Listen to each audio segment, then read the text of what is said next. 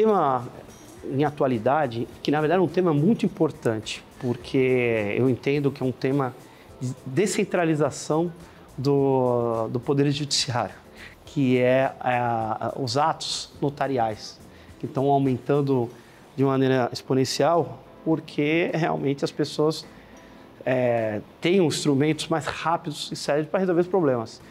Vamos conversar com um amigo, advogado, Diogo Levi, que é especialista nessa área. Diogo, tudo bom? Tudo bom, doutor Sérgio. Muito bom estar aqui de novo com vocês. Sempre muito bom poder trocar ideias aqui. É, o Diogo tá, tem essa, essa veia é, para essas questões imobiliárias e questões, questões envolvendo o cartório. Diogo, é, sempre foi muito penoso para as pessoas que queriam tomar na vida civil, compra, venda, em qualquer ato, é, às vezes tinha que enfrentar o judiciário, ou mesmo a questão do, do cartório era interligada mais ao judiciário, você precisava de... Hoje houve um avanço grande né, com relação a essas questões notariais, atas e tudo mais, né? Sim, a gente tem já há algum tempo, já faz tempo que está existindo essa construção uhum. de desjudicialização, né, de tentar escapar do judiciário que é tão moroso, todo mundo sabe que os processos demoram aí anos, às vezes até décadas, para serem finalizados. Então, é, é, nesse problema grave brasileiro, o que, que nós enxergamos, né? Falo nós, sociedade como um todo. É um, uma ótima opção que é partir para resolver os problemas, buscar soluções não na justiça, mas nos cartórios, nos tabeliões de notas, né, no, nos cartórios de registro de imóveis. Então a gente tem assim um mundo agora que no começo o pessoal brincava, achava que isso não ia se tornar realidade. Então a gente tem uso capião extrajudicial, está saindo, uso capião no cartório, sem justiça. Você tem a adjudicação compulsória extrajudicial, você tem os inventários extrajudiciais que já são uma realidade há mais tempo, tem os divórcios. Então a gente tem agora é, é, um leque muito grande de soluções fora do fórum, o que ajuda bastante. Sim, é, sai pesquisas, né? O número de divórcios aumentam de uma maneira considerável. E aí, imagine essas discussões judiciárias se eternizarem. As partes tem um consenso, olha, acabou e tal. É muito mais fácil, muito mais é, você. Mas é uma questão comportamental mesmo. Então, é cultural, exatamente. Né? E sobre a questão de resolução de contrato, ela é um pouco mais complexa.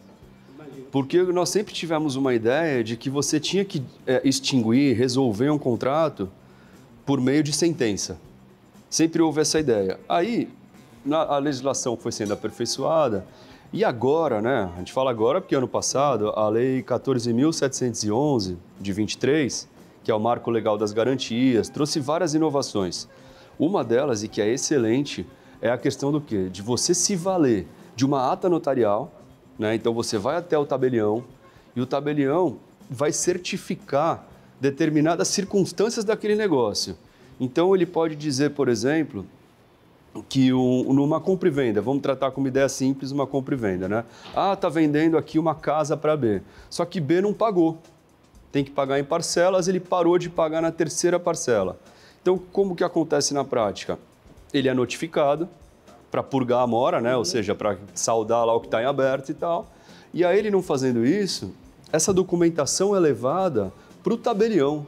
E o tabelião vai certificar e vai dizer o seguinte: é, aqui estão os comprovantes de pagamento das primeiras parcelas, a, é, as outras parcelas parece que não foram pagas, ele não pode declarar que não foram pagas, mas ele vai estruturar aquela circunstância e vai dizer foi notificado nos termos da lei, tal, tal, tal, vai criar todo aquele histórico e aí você tem o quê? Você tem uma comprovação por fé pública feita pelo tabelião de que o preço não está quitado. Ah, então você pode considerar que aquele contrato está finalizado de pleno direito. Isso é muito bom. ainda existe divergência, porque a gente sabe que as coisas demoram, é. mas o STJ trouxe um entendimento muito bom, acho que 2021.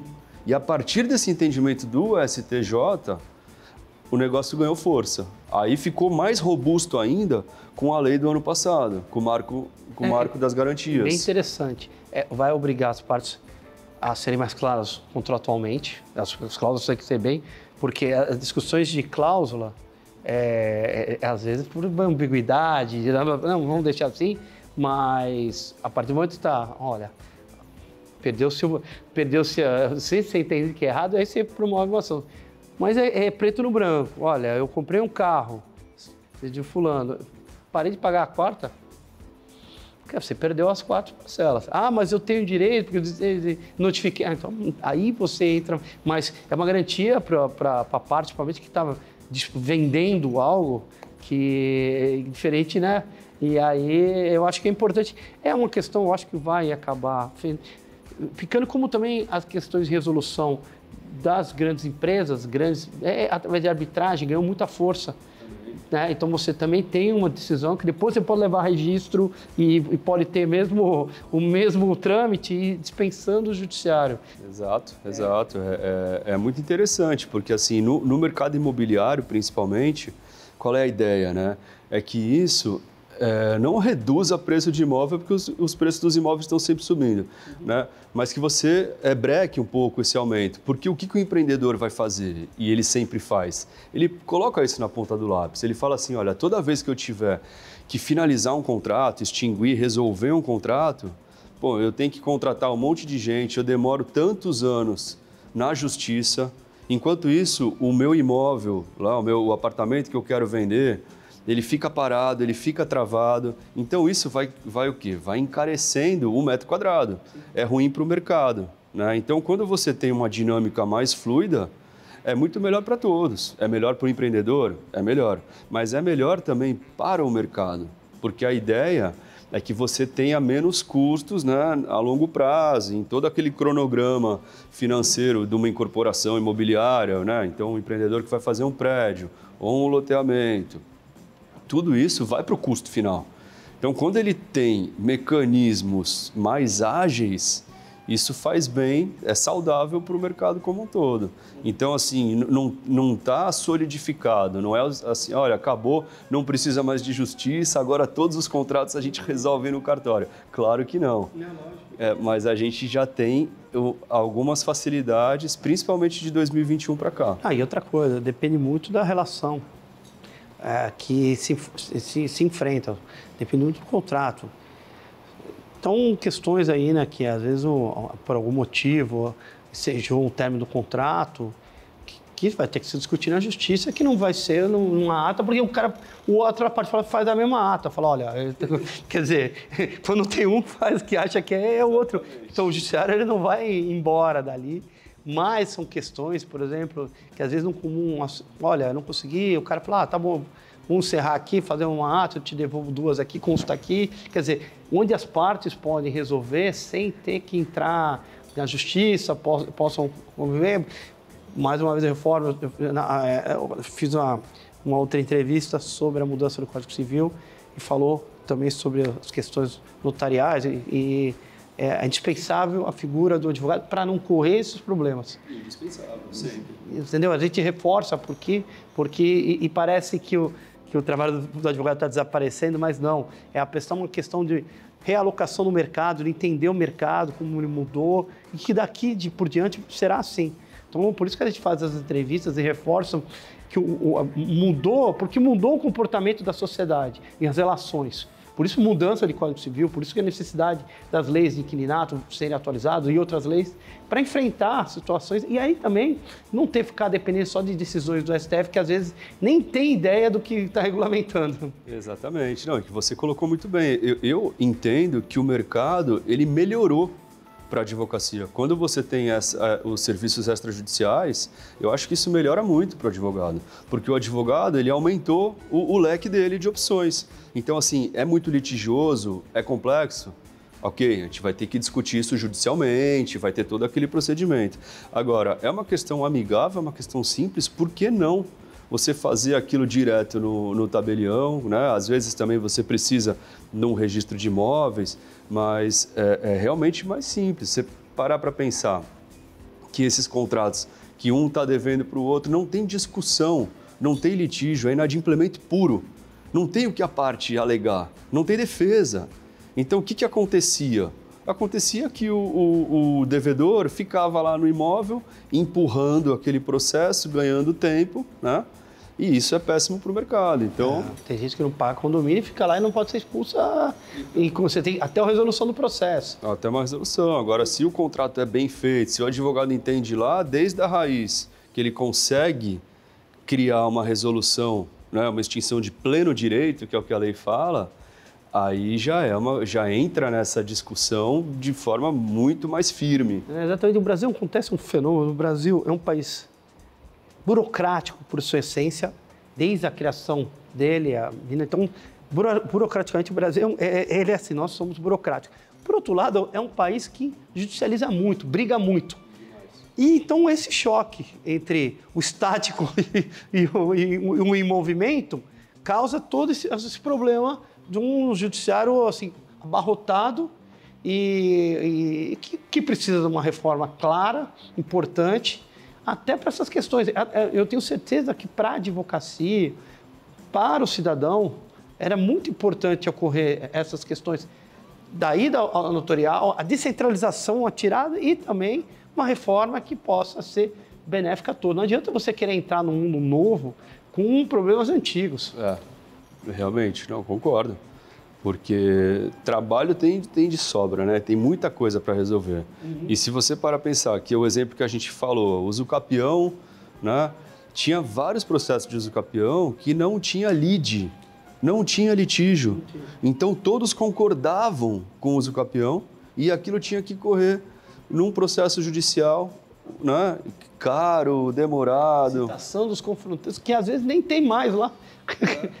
Morreu, o mato tomou conta e não tem, você não, você não acha mais ninguém e o processo está paralisado. Exatamente. Se alguém quiser é, é, ou recorrer ou reivindicar algo, que faça depois, mas não prejudique quem está reivindicando o seu direito. Isso, e o oficial de justiça, às vezes, que tinha que fazer essa diligência, é o mesmo oficial de justiça que está correndo numa ação de alimentos, uma questão de plano de saúde, uma questão de vida ou morte.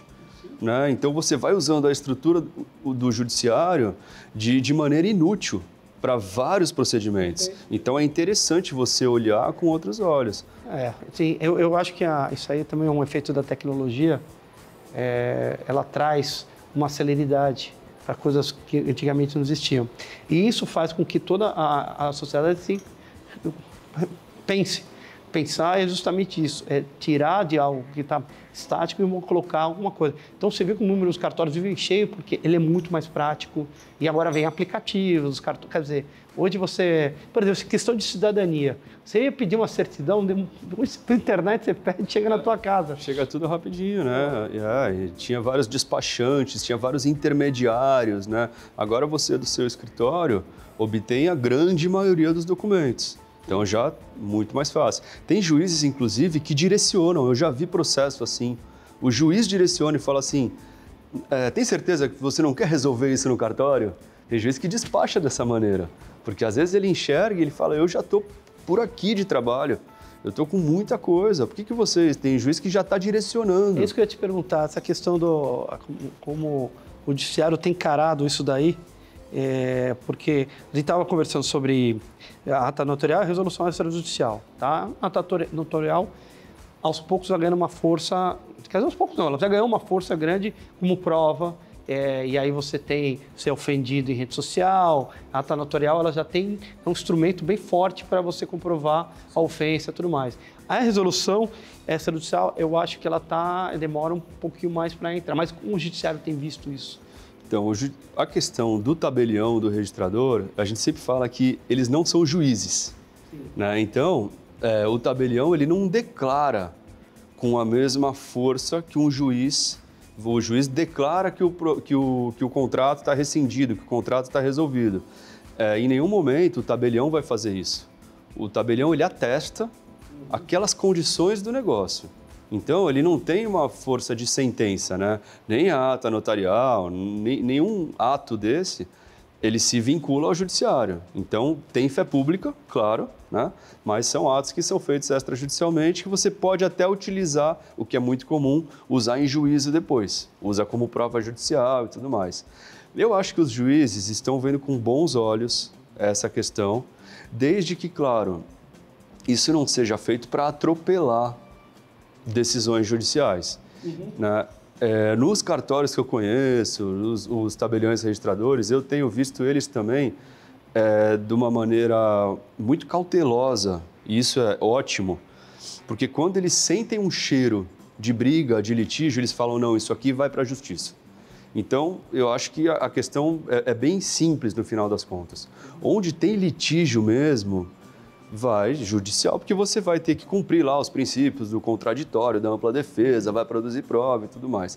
Mas aquelas questões que são amigáveis, que você consegue resolver na mesa, aí você consegue fazer isso no, nos cartórios. Ah, exemplo de outros países, países principalmente é, países de saxônicos lá, tipo, Estados Unidos, Inglaterra, você tem que não são tem que são mais pragmáticos com relação ao judiciário é, você tem uma resolução mais rápida, mais célere, onde não há problema, onde você vai ter ou não problema. Isso aqui é, isso é, é importantíssimo, né? E, enfim, infelizmente o nosso tempo voa aqui e tem muitas questões aí para conversar específicas. Diogo, já faço convite para voltar. Aliás, sempre que quiser, a casa é nossa.